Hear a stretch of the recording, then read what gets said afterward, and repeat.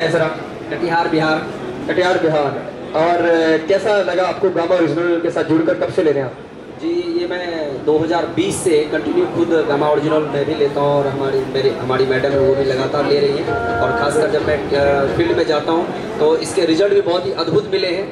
हम एक रिज़ल्ट हमारा है एक व्यक्ति राजेंद्र यादव था। उनका जो है लेफ़्ट साइड में पैरालिसिस हो गया था। और वो घर पे बैठे हुए थे और मैं वहाँ गया, उनको एडवाइस किया कि आप ये गामा ओरिजिनल लो।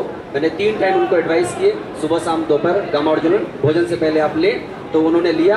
लगातार तीन महीने लेने के बाद में बहुत ज़्यादा इम्प्रूवमेंट हुआ और छः महीना लगातार लेने के बाद वो व्यक्ति आज उठकर चल चल रहा है और बहुत ही फिट है, सारे काम वो खुद कर रहे हैं। क्या बात